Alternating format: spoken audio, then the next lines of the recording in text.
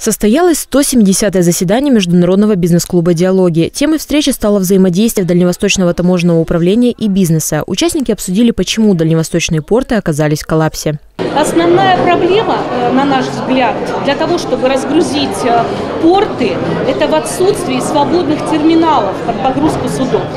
И мы видим э, решение задач по разгрузке дальневосточных таможенных портов в открытии сухих портов зоной ПЗТК, постоянной, постоянной зоной таможенного контроля.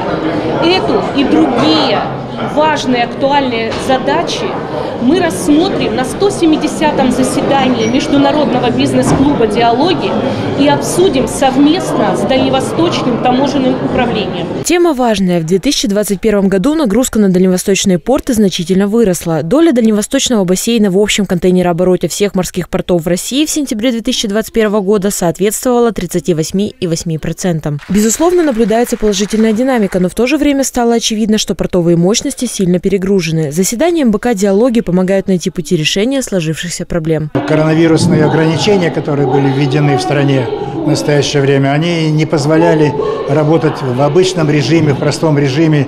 Там, там есть совет при э, Дальневосточном таможенном управлении, планиру которого была заложена схема встреч с бизнесом.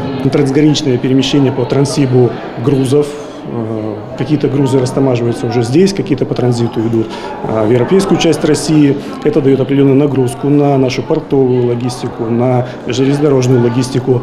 А, есть, так скажем, проблематика в этом плане.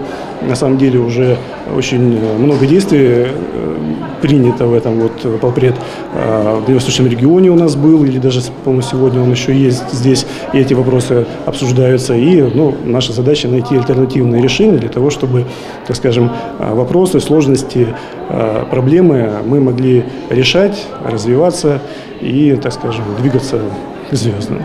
Каждое заседание МБК «Диалоги» – это всегда самая актуальная и интересная тема для всего региона. Современные бизнесмены не сидят на месте, они всегда в поисках новых возможностей развития. Екатерина Зверева, Анастасия Лихман. Новости на восьмом.